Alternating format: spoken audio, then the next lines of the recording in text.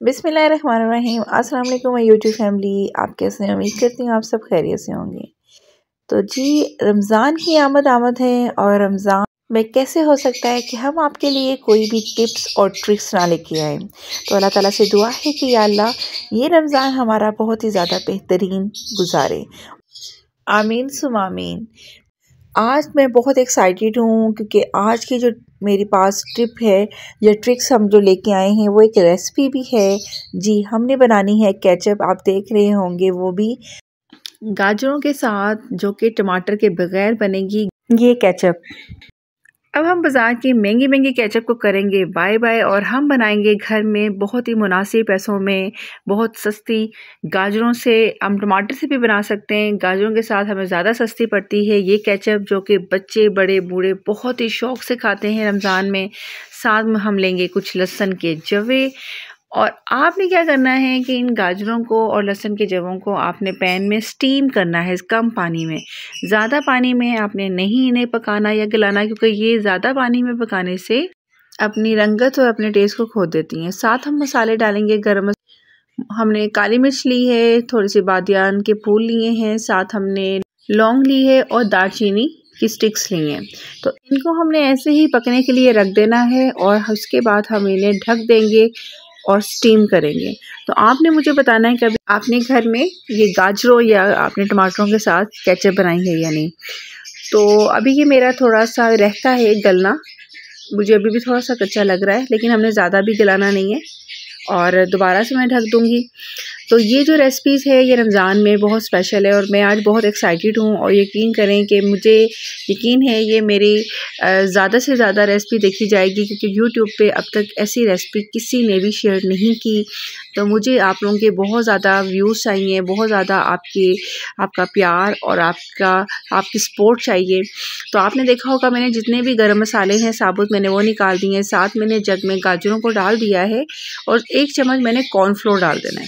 आप लेंगे one table spoon cornflour का तो ब्लेंड करेंगे अब इनको आपस में सबको मिला के, और इसके बाद मैंने लिया है पैन साफ़ कर लिया है, और अब मैं इसमें अपना ब्लेंड किया हुआ सारा का सारा मटेरियल मिक्सचर डाल दूँगी। और अब असल हमारा काम स्टार्ट होता है, हमने इसे कंटिन्यूटी के साथ चम्मच चलाते रहना है हल्की आँच पर क्योंकि इसमें कॉर्नफ्लोर है, और कॉर्नफ्लोर को अगर हम चम्मच नहीं चलाएँगे तो वो लम्ब बन जाएँगे। तो स्टिल आप इसको चलाते रहें और आप देख रहे होंगे कि आहिस्ता इसमें कलर भी आ गया है। मैंने शुगर भी ऐड कर दी है और साथ जो है अगेन मैंने चम्मच चलाया है। अब ऐड होगा विनीगर विनीगर और चिली सॉस मैंने डाली है। तकरीबन वन टेबल स्पून आपने इन दोनों का डालना है। तो जी, मेरी ये रेसिपीज़ आज बहुत ज़बरदस्त किस्म की बनने लगी है। बच्चे, बूढ़े, बुज़ुर्ग सब रमज़ान में सबसे ज़्यादा ये सॉस इस्तेमाल करते हैं और ये खाई जाती है सॉस हर चीज़ में इस्तेमाल होती है। तो यहाँ मैंने नमक भी लिया है, साथ ब्लैक पेपर भी ले लिया है और ज़्यादा नहीं क्वांटिटी लेनी, मैंने टी स्पून के करीब मैंने ये ब्लैक पेपर लिया है और साथ मैंने पिंच ऑफ़ सॉल्ट लिया है। तो मैं आपको बता रही थी कि रमज़ान में सबसे ज़्यादा खाई जाने वाली सॉस जो है, ये कैचअप सॉस होती है। इसके अलावा चिली सॉस की रेसिपी भी हम नेक्स्ट आपसे शेयर करेंगे। बहुत से रायते, बहुत सी सॉसेस भी हम करेंगे। आपने मुझे कमेंट सेक्शन में ज़रूर बताना है कि आप कि मेरी ये वाली कैचअप आपने रेसिपी ट्राई की, क्योंकि रमज़ान से पहले ही ये ट्राई करके रख ले। रमज़ान से पहले आपने ऐसी चीज़ों को प्रिपेयर करके रख लेना है ताकि आपके लिए इजी हो रमज़ान में हमारा ज़्यादा से ज़्यादा वक्त इबादत में गुजरे। हम पहले से ही अपने आप को प्रिपेयर कर लेंगे। तो जी, मैं आपके सामने और भी बहुत सी रेसिपीज़ लेके आऊँगी। अब मैंने इस दौरान सोया सॉस ऐड किया है, वो हमने पहले ऐड नहीं करना था। इस दौरान किया है ऐड आप देखें इसका कलर मेरी कैचअप का कितना ज़्यादा प्योर फॉर्म में आ गया है। मैंने इसको आपने इतना हिलाना है, इतना पकाना है कि पका, ये बहुत ही ज़्यादा थिक हो जाए। यानी इसका गाजर का अपना जो पानी है, वो ख़त्म होना चाहिए। तो मुझे थोड़ा सा इसमें कॉर्नफ्लोर कम लगा तो मैंने इसी दौरान कॉर्नफ्लोर लिक्विड फॉर्म में मैंने थोड़ी सी क्वांटिटी इसमें डाली। है आपकी चॉइस है, आपने नहीं डालना तो आप मत डालें। आप थोड़ा सा थीन और पतला भी रख सकते हैं ये केचप तो अब देखिए कितनी ज़बरदस्त, माशाल्लाह माशाल्लाह, ये मेरी केचप रेडी होगी अब हमने क्या करना है? वन टेबल स्पून ऑयल डालना है। अच्छा हम ऑयल क्यों डाल रहे हैं? मैं आपको बताती हूँ कि बाज़ार में जितनी भी केचप्स होती हैं, जितनी भी सॉसेस होती हैं, वो प्रिजर्वेटिव्स डालते हैं। बाज़ार में उसको स्टोर करने के लिए उनमें केमिकल्स डालते हैं तो मैं इसलिए एक चम्मच ऑयल डाल रही हूँ ताकि मेरा ये प्रिजर्व रह सके। तो देखिए, मैंने विनीगर आपको दिखाया है, साथ मैंने चिली सॉस दिखाई कि मैं इसलिए दोबारा दिखा रही हूँ कि ये इस कैचअप की जान है। ये टेस्ट डेवलप करती हैं, क्योंकि हमने ली है कैरेट गाजर जो कि मीठी होती हैं।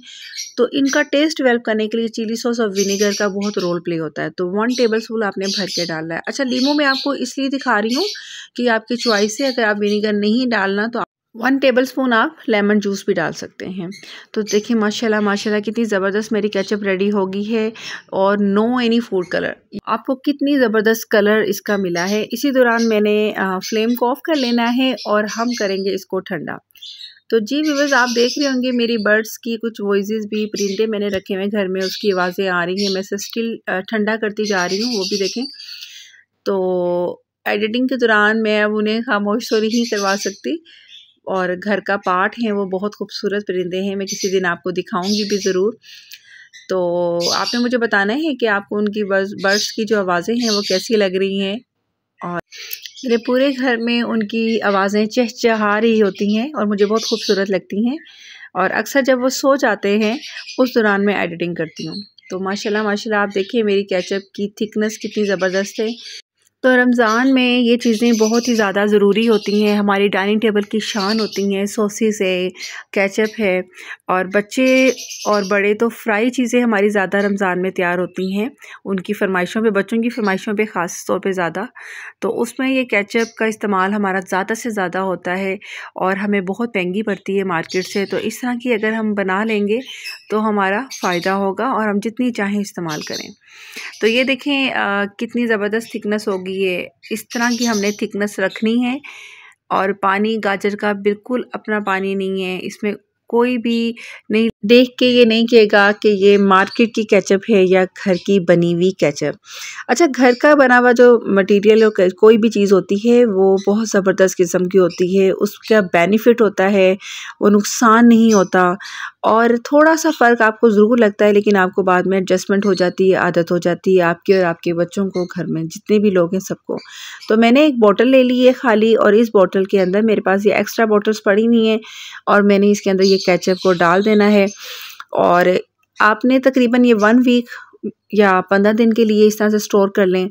और चाहें तो आप वन मंथ के लिए भी स्टोर कर सकते हैं। इसे आपने फ्रिज में ठंडा करके रखना है गरम गरम नहीं रखना और एक से दो दिन बाद आप इनको हिला लें मिक्स कर लें। फ्रिज में भी अगर आपने जार में रखी है, किसी बोतल में रखी है या बाउल में रखी है तो आपने एक से दो दफ़ा चम्मच से चला लेना है। इससे थिकनेस पे इफ़ेक्ट नहीं आता और पानी नहीं छोड़ती कोई भी चीज़। तो ये देखें ज़बरदस्त किस्म की केचप जो कि हमने ब्रेड पे लगाई है और आप मुझे बताएँ, क्या आपको ये देखने से फ़र्क पता चल रहा है कि ये गाजरों से बनी हुई है। तो आपको मेरी ये रेसिपी कैसी लगी? मेरे चैनल कर दें सब्सक्राइब मुझे कमेंट में ज़रूर आपने अपना रिव्यू देना है। Thank you so much